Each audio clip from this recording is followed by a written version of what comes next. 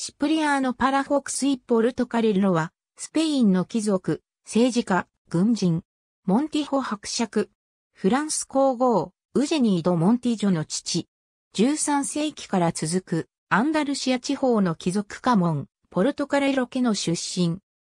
第15代ペニャランダ、デルドゥエロ公爵、第14代ラバニエーザ公爵、第8代オセラ公爵、第16代ビジャヌエバ・デルフレスの公爵、バルカロッタ公爵、第17代モヤ公爵、第8代モンティホ伯爵、第12代バニョス伯爵、第9代サンタクルス・デラシエラ伯爵、第18代ミランダ・デルカスタニャル伯爵、第18代テバ伯爵、第7代フエンティドゥエニャ伯爵、第19代サンエステバンデ・ゴルマス伯爵、第8代アビリタス伯爵、第25代モゲル教の爵位を有した。神仏派、ボナパルティストとして知られ、スペイン王位についたジョゼフ・ボナパルトの軍隊に所属して、半島戦争に従軍。戦闘で片目を失い、王の弟のフランス皇帝ナポレオン一世から英雄扱いを受けた。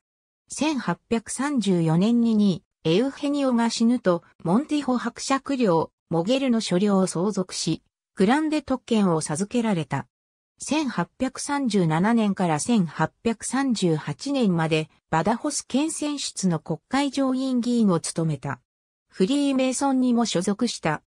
フランス人作家プロスペルメリメと親交が深かった。1817年12月15日、スペインに帰化した裕福なスコットランド人、ワイン賞の娘マリア・マヌエラ・キルクパトリックと結婚し、間に3人の子供を設けた。ありがとうございます。